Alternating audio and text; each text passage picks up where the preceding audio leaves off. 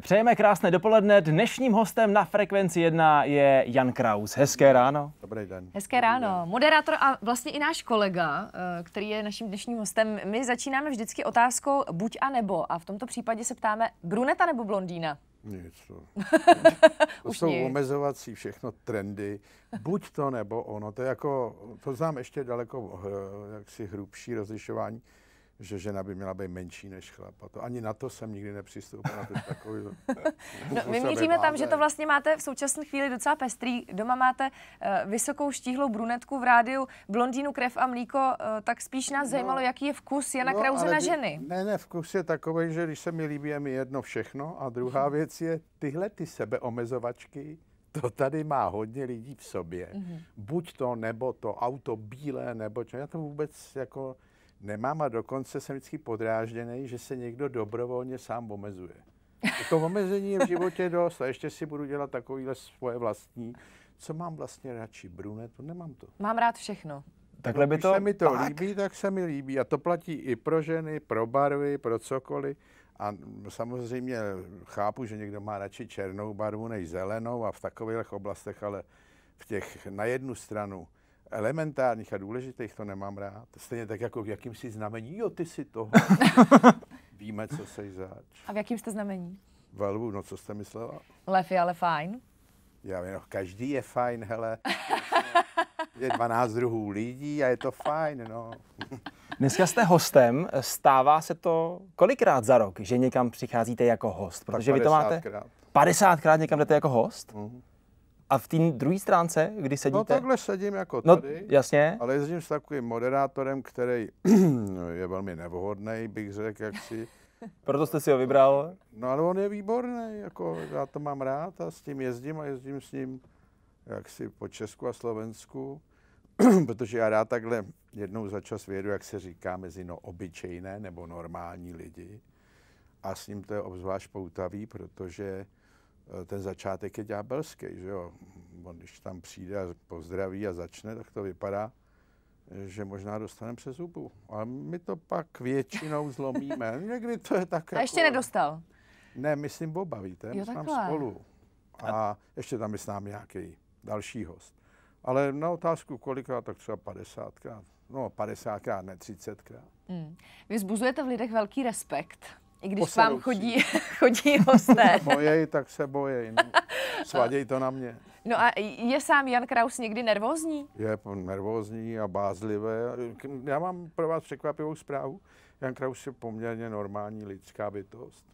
Se všema nás překvapil. negativama, který lidi v sobě mají, ale nejsem tak podělaný asi, jak je tady standard. Hmm. Co byl pro vás ten důvod se vrátit do rádia? Eh, No tak eh, řekl bych, že jsem tu nabídku dostal z pravého místa v pravý čas.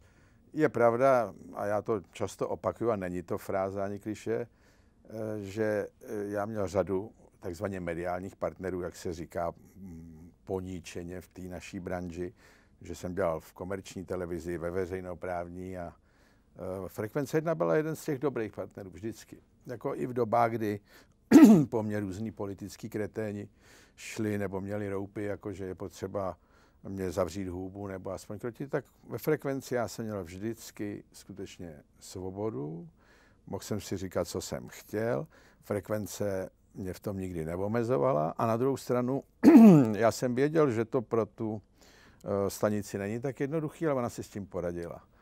A to je docela důležitý aspekt, který tady málo, který médium umí. Frekvence vždycky vlastně uměla. No a druhá věc, já jsem si dal pár let přestávku od toho, eh, tak jsme se k tomu jako zkusili vrátit po letech, ale myslím si, že ten odpočinek pro mě teda byl dobrý. Vy jste tady zmínil uh, politický kretén. Eh, Kdo to pro vás teď je? To pro mě nikdo není a nikdy bych to tady neřekl, právě protože tady v té stanici, jak si dneska komentuju politické věci, eh, tak to nemůžu takhle říct, protože to máte jinou zodpovědnost. Ona jiná zodpovědnost je, když přijdete jako Honza do jednoho pořadu za rok a odejdete, a jiná, když tady každý týden jak si glosujete politický dění. Eh, tak ta zodpovědnost vaše je v tom, že přestože já nejsem novinář, nejsem politolog, ale já jsem samozřejmě novinář, politolog, architekt, stavby vedoucí. Model. Hmm. Všechno, jo, jo. jako všichni v Česku. Většina lidí v Česku je bez vzdělání, nebo je tak vzdělaná jako já, tedy nevzdělaná, protože vzdělání nám tady drhne. A to nechci upírat těm mladým, kteří mají kvalitní vzdělání, ale moje generace, to je hmm. spustošený, pokud jde o vzdělání. tak ta moje zodpovědnost je jiná. A moje ambice není tady říkat o jednotlivci, kdo je kreten. Moje ambice je dělat to tak, jak bych chtěla, aby to dělali ty druhý a mám pocit, že to nedělají. Tady polovina novinářů jsou aktivisti. A druhá polovina jede ve šmelině s politikama a dělají jim nějaký služby nebo co. To bych nechtěl být. A opravdu bych chtěl působit jako člověk, který v ničem nejede a přitom je demokrat. Demokrat je slogan doby. To je ten problém. Naším hostem na Frekvenci 1 je Jan Kraus. Součástí dnešní doby jsou taky sociální média. I vy už jste tam. My jsme ne, i vy, já tam byl dřív než vy, ale i vy. Jako, tak dřív než já určitě. Víte jako s nějakou sociální čůrkou. Ne, vy jste dobrý.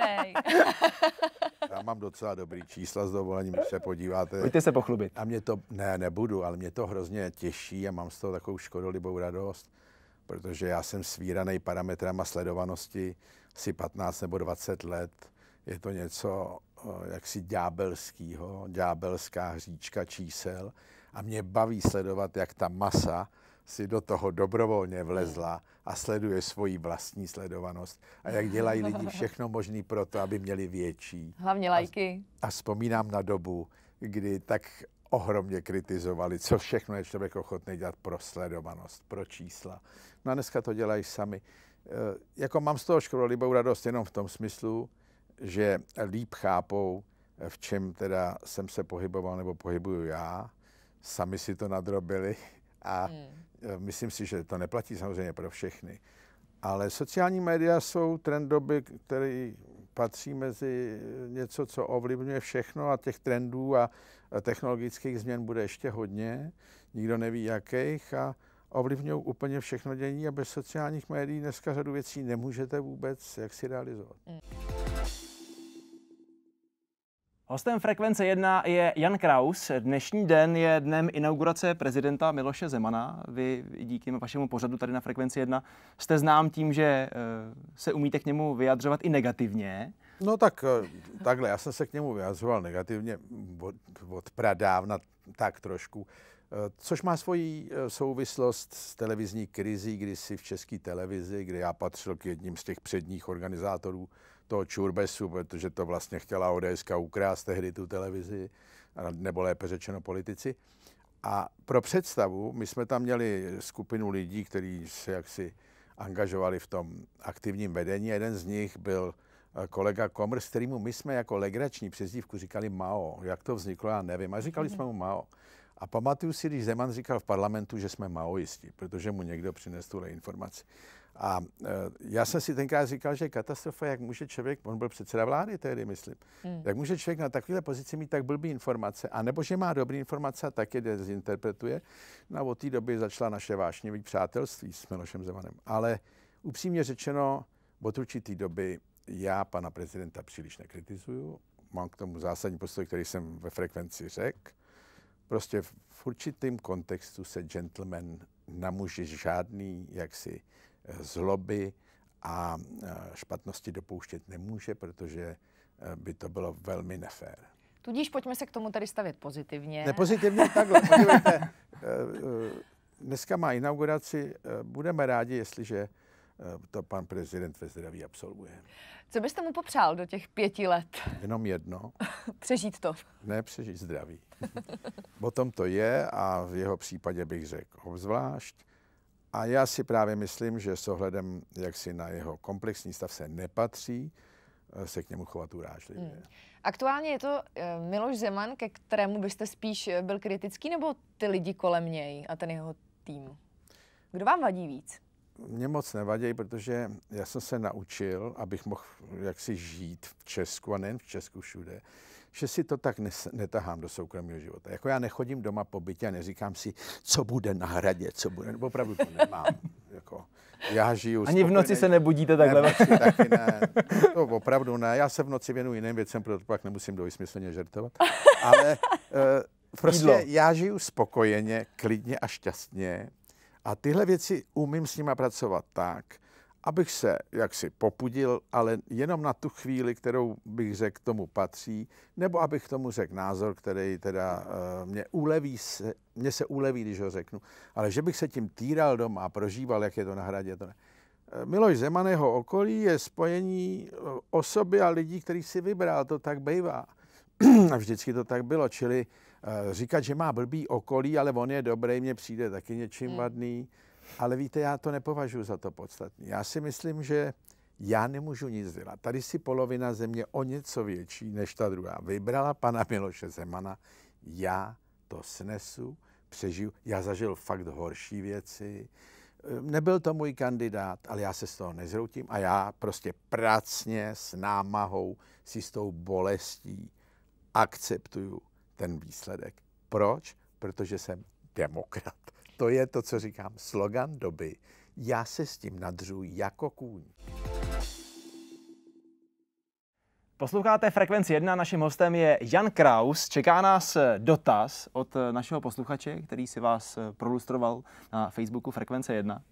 Je to pan Václav Spoděbrat a ptá se, pane Krauzi, často komentujete politické dění. Neuvažujete sám o tom, že byste vstoupil do politiky či kandidoval na prezidenta? Ne, opravdu ne. Tak eh, já na to vždycky říkám, proč bych si ničil život. Eh, já jsem šťastný člověk svým způsobem, eh, který dělá to, co dělat chtěl a tak dále. A tohle je něco, co je mě bytostně cizí. A k tomu chci říct jenom, já nesnáším tenhle trend těch posluchačů, protože je to neregulérní. Z jakého důvodu? No, Václav Spoděbrat. Hmm. Tak co? No tak může to být ve tak... skutečnosti Honza z Prahy, že jo? Ne, může, jako co to je, co to je?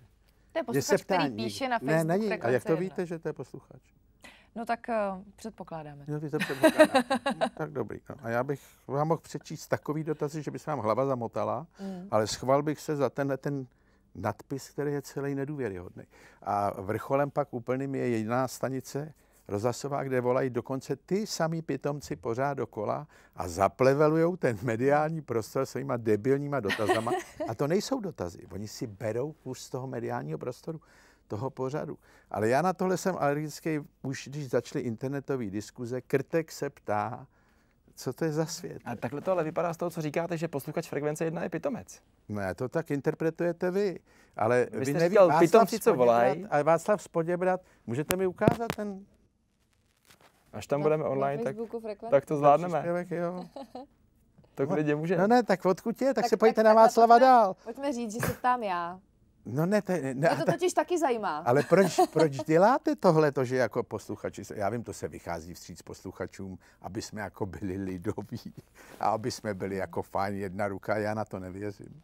No opravdu ne. A nikdy jsem na to nevěřil. A je to takový postbolševismus pro mě. Naši lidé a my s nima, my s posluchači. Posluchači se baví, pracující jsou spokojení, takže pracujeme dobře. Nezdílím to, opravdu ne. Myslím si, že svět je jinde. Dělám to takhle, jestli se vám to líbí, líbí, nelíbí, je mi líto, tu pryč. Dnes je MDŽ, Slavíte? Řešíte? No, to je odporná věc, že? protože to mám spojený s komunismem, no to vůbec. Jakože to jeden žen je hezký, ale to mám tak silně vrytý, vrytý do hlavy, co to bylo za hnůj a kompost uh, v komunismu a ožírali se ty papaláši a, a ženský tak divně poskakovali jako rozšťastněný nebo co. Nemám k tomu vůbec jaksi dobrý vztah a přijde mi to jako eh, něco, co má tak hnusnou minulost, mm. že to nejsem schopný slavit. Co bude dneska k večeři u vás doma? To nevím. To u nás není zrovna jaksi, uh, bych řekl, ta hlavní priorita. Kitky tam budou určitě, jak už jsem řekl, těch tam hodně, ale pozor, my jako nehledovíme to za prvé. A za druhý, uh, já vůbec nejsem jaksi eh, tenhle typ toho obžery. Nepotřebujete doma teplou večeři každý den? Ne, já nesmím mít hlad. Mm-hmm. A dokonce je to jako vážný, protože já se velmi výrazně negativně povahově měním hladové. Já jsem schopný násilných trestných činů. Takže u mě je důležité, abych byl najedený, ale mě to trošku jedno, čím se najím. A dneska jste po snídaní už? Dneska jsem po sněnu, to Uf. nebyl po snídaní, jak to tady rozkopu. to se nám to, jako, ulevilo. to by byl jiný tanec, ale začíná být před obědem.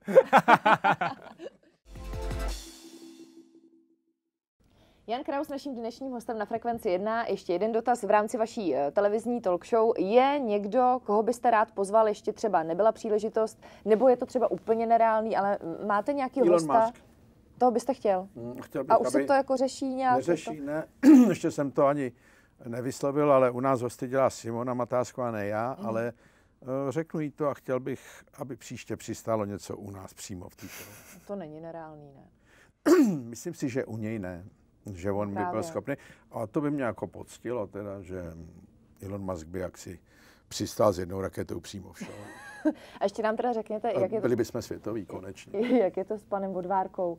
No, Fakt chodí dobrovolně nebo už je zaměstnancem? Ne, není zaměstnancem a nikdy nebyl zaměstnancem. Pan Vodvárka je super extra třída fanoušek a modlete se k Pánu Bohu a budete-li to dělat denně několik hodin, je možný, že vám takového fanouška taky nadělí. Kežby. Děkujeme. Jan Kraus na Frekvenci 1.